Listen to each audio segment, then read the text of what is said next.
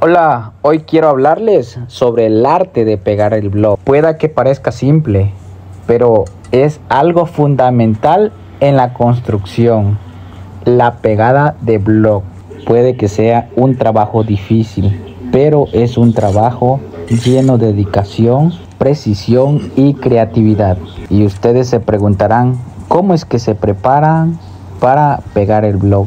Es igual como en la vida, necesitamos un plan, necesitamos medir y lo esencial, nivelar. Cada blog debe de colocarse en su lugar para que genere una base sólida, así como en nuestra vida.